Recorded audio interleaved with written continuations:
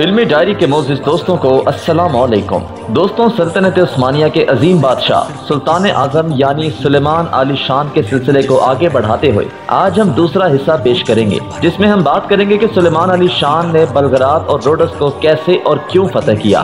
दोस्तों, फतुहात को मुकम्मल समझने के लिए वीडियो को आखिर तक लाजमी देखिएगा और सुलेमान का पहला हिस्सा, जिसमें हमने इस अजीम खलीफा के सच्चे ज़ाती खलाक वजाफ और उनके मतलब बनने वाले ड्रामे में दिखाए जाने वाले झूठ का तफसील से ज़िक्र किया है। देखने के लिए ऊपर दिए गए लिंक पर ज़रूर क्लिक करें। तो आइए चलते हैं आज के मौसम की जानब। दोस्तों, सलीम के आखिरी दौरे हुकूमत में सल्तनत उस्मानिया और सल्तनत हंगरी के दरमियान आवेजिश पैदा हो गई थी और सरहदी इलाके में बराबर छोटी छोटी लड़ाइयाँ होती रहती थी। इस खलिश को दूर करने के लिए सुलेमान को बलगरात और जबाकिस के सरहदी कलों को फतह कर लेना ज़रूरी हो गया। इन कलों की फतेह सरहद के इस्तेकाम के लिए भी ज़रूरी थी और यूरोप में मजीद फतूहत हासिल करने के लिए भी। चनाचे सलेमान ने हंगरी के बादशाह लुई सानी के पास अपने सफीर भेजे और उससे खराज का मुतालबा किया। लुई ने इस मुतालबे के जवाब में उस्मानी सफरा को कत्ल करवा दिया। सलेमान को जब ये खबर पहुँची तो वह फ़ौरन हंगरी की फतेह के लिए रवाना हो गया। उसके फौजी सरदारों ने जबाकरा और दूसरे कलों का मुहासरा करके कब्जा कर लिया। इसके बाद सलेमान खुद बलगरात की तरफ़ बढ़ा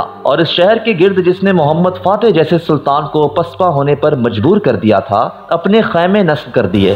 सात रोज की गोलाबारी के बाद 25 रमज़ान मुबारक, नौ सौ सत्ताईस यानी उनतीस अगस्त 1521 को बलगरात फतेह हो गया। फतेह के बाद नाकला के फौजी दस्ते का कत्ले आम हुआ। और ना शहर के बाशिंदे कत्ल किए गए। सुलेमान ने वहाँ के सबसे बड़े गिरजाघर में नमाज़ अदा की और तसलियस के इस अजीम शान मबूद को खुदाए वाहिद की परस्तिश के लिए मखसूस कर दिया। उसके बाद इसने बलगरात में एक तुर्की दस्ता मुतन किया और कले को अज सरेनो मज़बूत और मुस्तकम करके कुस्तुनतुनिया वापस हुआ। दोस्तों, बलगरात के अलावा सरहद के दूसरे कलों पर भी उस्मानियों ने कब्जा कर लिया और हंगरी में दाखिल होने के तमाम दरवाजे उनके लिए खुल गए। सुलेमान अब हंगरी के दारुल सल्तनत बोदा की तरफ़ बढ़ सकता था, लेकिन रोडिस की फतह उसके नज़दीक ज़्यादा ज़रूरी थी और बलगरात के बाद इसने इसी जानब रुख किया। दोस्तों, रोडिस की फतह मुख्तलिफ़ वज़ू से ज़रूरी थी। बलगरात और रोडिस यही दो मार्के थे जिनमें सुल्तान मोहम्मद फातेह ने शिकस्त खाई थी। बलगरात की फतेह ने सल्तनत उस्मानिया के दामन से एक शिकस्त का दाग तो धो दिया। सुलेमान की आला हौसले की दूसरे धब्बे के धोने के लिए भी बेकरार थी। अलावा बरी, रोडस के जहाज़ बहिर रूम के मशरकी हिस्से में और मजमुल जजायर और अनातोलिया के साहिलों पर लूट मार मचाए रहते थे।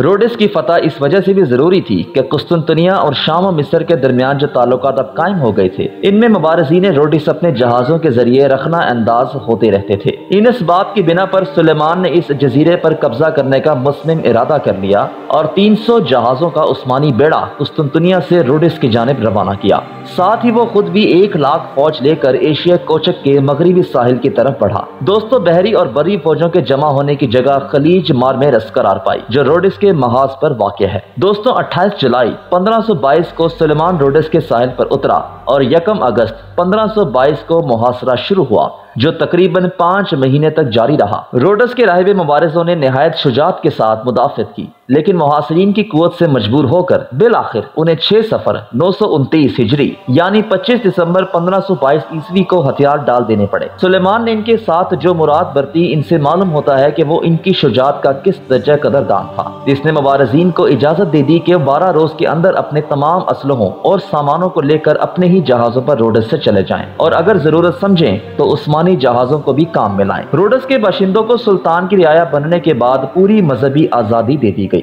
सुल्तान ने सराहत के साथ वादा किया कि उनके कलिसाओं से कोई तारुज ना किया जाएगा।